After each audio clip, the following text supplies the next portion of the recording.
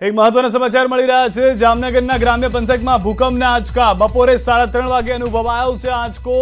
મથવા હડમતિયા અનુભવ થયો છે આ આંચકાનો. નાના થાવરિયા ગામમાં પણ થયો છે અનુભવ. દિવસમાં કુલ પાંચ આંચકાનો અનુભવ થયો છે. ભૂકંપના આંચકાથી લોકોમાં પણ ભયનો માહોલ જોવા મળી રહ્યો છે. સતત ભૂકંપના આંચકા આવી રહ્યા છે. છેલ્લા પાંચ છ દિવસથી જો જોવામાં આવે તો જામનગર છે કચ્છ છે, ભરૂચ છે, આસપાસ તમામ વિસ્તારોની અંદર આ ભૂકંપના આંચકા જોવા મળી રહ્યા છે. તો જામનગરના ગ્રામ્ય પંથકમાં આજે ભૂકંપના આંચકાના સમાચાર મળી રહ્યા છે. બપોરે સાડા ત્રણ વાગે, અંદાજિત પિસ્તાલીસ મિનિટ પહેલા આ ભૂકંપનો આંચકો અનુભવાયો છે. જ્યાં આસપાસના જે ગામ છે, મતવા છે હડમતિયા છે, અનુ જ્યાં આ ગામની અંદર અનુભવ થયો છે. નાના થાવરિયા છે, આ ગામમાં ભૂકંપનો આંચકો અનુભવાયો છે. દિવસમાં કુલ પાંચ આંચકાનો અનુભવ થયો હોવાનું જણાવી રહ્યા છે ગ્રામજનો. ન્યૂઝ એટીન સંવાદદાતા કિંજલ કારસરિયા અમારી સાથે જોડાઈ ગયા છે. કિંજલ કયા કયા વિસ્તારોની અંદર આ ભૂકંપના આંચકા અનુભવાયા છે? તીવ્રતાને લઈને કોઈ માહિતી મળી છે? હજી સિદ્ધાર્થ જો વાત કરવામાં આવે તો જામનગર ગ્રામ્ય પંથક છે. ગ્રામ્ય પંથકમાં અવારનવાર ભૂકંપના આંચકાઓ છે અનુભવાય છે.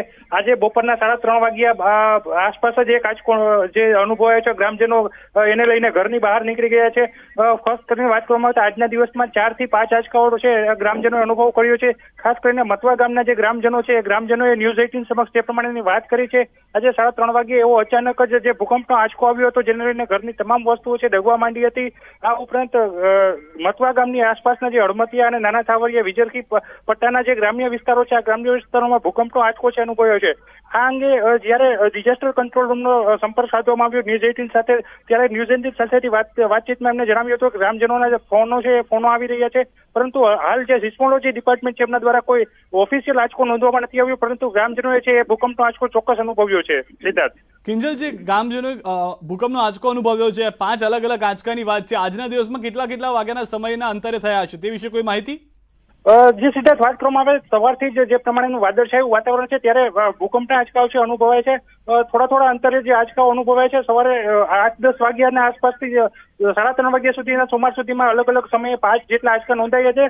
પરંતુ ગ્રામજનો દ્વારા ચોક્કસ કોઈ સમય છે જણાવવામાં નથી આવ્યો, સિદ્ધાર્થ. આભાર કિંજલ સમગ્ર માહિતી બદલ. તો હાલમાં, આજના દિવસમાં જ સાડા ત્રણ વાગ્યા સુધીમાં અલગ અલગ આંચકા અનુભવાયા હોવાનું કહેવામાં આવી રહ્યું છે. ગ્રામજનો તરફથી પાંચ આંચકા આજના દિવસમાં અનુભવાયા હોવાનું જાણવા મળી રહ્યું છે.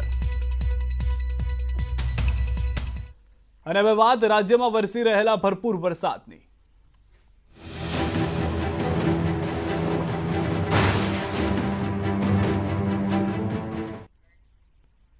ભાવનગરનો શેત્રુંજી ડેમ આજે ઓવરફ્લો થઈ ગયો છે તેવી શક્યતાઓ જોવામાં આવી રહી છે. ઓવરફ્લો થાય તેવી શક્યતા છે, જેના પગલે પાલીતાણા અને તળાજા સહિત પંદરથી વધુ ગામોને એલર્ટ કરવામાં આવ્યા છે. તો તમામ શક્યતાઓ છે કે ભાવનગરનો શેત્રુંજી ડેમ આજે ઓવરફ્લો થાય. ડેમની સપાટી હાલમાં તેત્રીસ પોઈન્ટ દસ ફૂટ પર પહોંચી છે. હાલ ડેમમાં આઠસો સાત ક્યુસેક પાણીની આવક થઈ રહી છે. આ પહેલા બે હજાર પંદરમાં ડેમ ઓવરફ્લો થયો હતો. ત્યારબાદ પાંચ વર્ષનો સમય કે જ્યારે ડેમ ઓવરફ્લો નથી થયો, પરંતુ આજે પૂરેપૂરી શક્યતાઓ સેવવામાં આવી રહી છે. જે રીતે સ્થાનિકો સાથે વાત થઈ, અધિકારીઓ સાથે વાત થઈ કે ડેમ ઓવરફ્લો થઈ શકે છે, સ્થાનિકોને પણ સુરક્ષિત જગ્યાએ ખસી જવા માટે કહેવામાં આવ્યું છે કે જે નીચાણવાળા વિસ્તારોમાં રહી રહ્યા છે.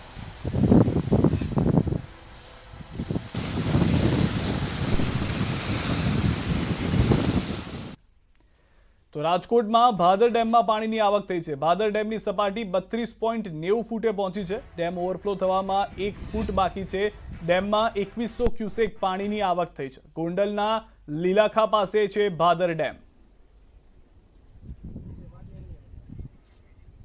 તો રાજકોટના ધોરાજીના ભાદર બે ડેમના ત્રણ દરવાજા હજી ફૂટ ખોલ્યા છે. ડેમમાં નવા નીર આવતા ધોરાજીના ખેડૂતોમાં ખુશીની લહેર જોવા મળી રહી છે. ધોરાજી ઉપરાંત ઉપલેટા અને માણાવદરના ખેડૂતોને પણ ભાદર બે ડેમથી સિંચાઈનો લાભ થશે ડેમના ત્રણ દરવાજા ખોલતા નીચાણવાળા વિસ્તારોને એલર્ટ કરવામાં આવ્યા છે.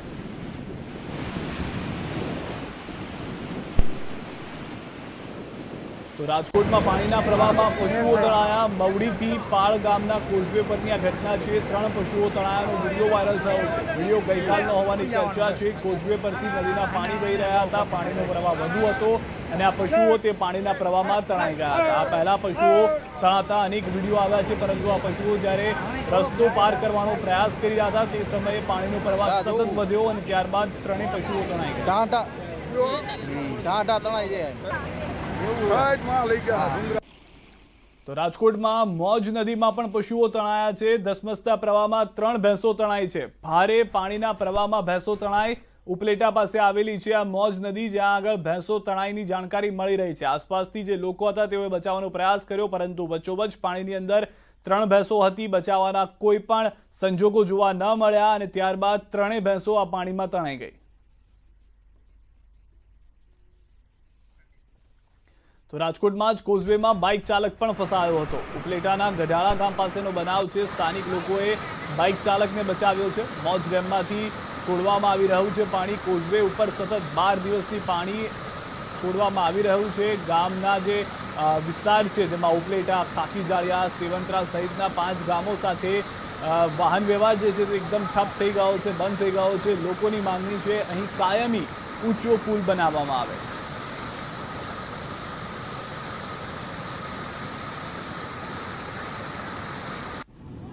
તો ગીર સોમનાથના ઉનાની મચુંદરી નદીમાં પણ કોઝવે પરથી પસાર થતી એક કાર તણાઈ હતી. ઉનાના દેલવાડા પાસે આવેલા નદીના કોઝવે પર સામેથી ટ્રક આવતી જે આવી રહી હતી તે દરમિયાન ગાડી દબાઈ ગઈ હતી અને કારે પાણીમાં જળ સમાધિ લઈ લીધી આ દ્રશ્યો આપ જોઈ રહ્યા છો. નદીના ધસમસતા પ્રવાહમાં કાર અડધી ડૂબી ગઈ. જોકે કારના ડ્રાઈવરનો બચાવ થયો હતો. હાલ જ્યારે સૌરાષ્ટ્રમાં મોટાભાગની નદીઓ જોખમી સ્તરે વહી રહી છે, ત્યારે સાંકડા કોઝવે પર વાહન વ્યવહાર જોખમી બન્યો છે.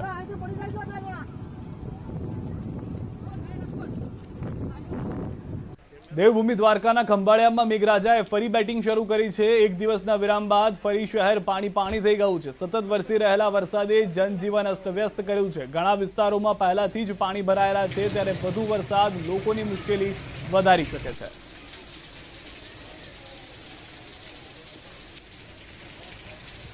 પ્રવાસમાં સારા વરસાદને કારણે મહુવાના સથરા ગામે બડબડીયો નદીમાં ઘોડાપૂર આવ્યું છે. જેના કારણે નિકોલ બંધારામાં પાણીનું સ્તર વધ્યું છે.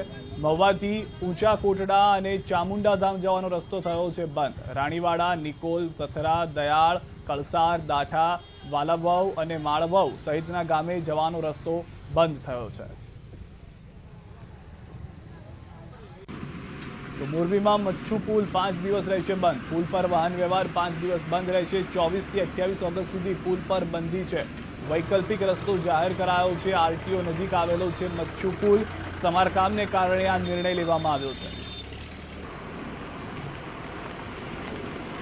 મોરબીમાં ભારે વરસાદથી છેવાડાના ગ્રામ્ય વિસ્તારો જર્જરિત જોવા મળી રહ્યા છે. ચેકડેમ પણ તૂટી રહ્યા છે. મોરબી તાલુકાના ધૂળકોટ બીડી ગામનો ચેકડેમ તૂટી જતા ગ્રામજનોને ભારે હાલાકીનો સામનો કરવો પડ્યો છે. ચેકડેમ તૂટતા ગ્રામજનો માટે અવર જવરનો રસ્તો નથી રહ્યો. ચેકડેમમાં બંગાળથી સંગ્રહ કરાયેલું પાણી વહી જતા ખેડૂતોને શિયાળુ પાક લેવામાં મુશ્કેલી પડે તેવી સ્થિતિ સર્જાઈ છે.